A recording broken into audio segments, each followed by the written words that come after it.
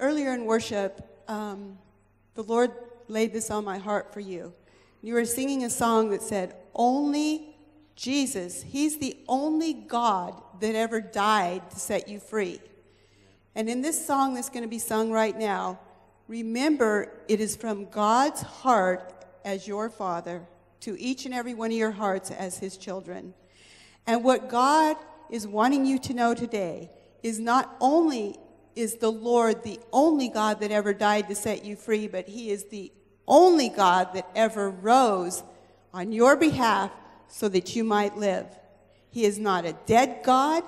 He is not a God that can't speak, that can't hear, that can't hold you on his lap. He's a God that's so alive, he hears every thought you think. He knows every cry of your heart. He's so alive that he can deliver your soul from death.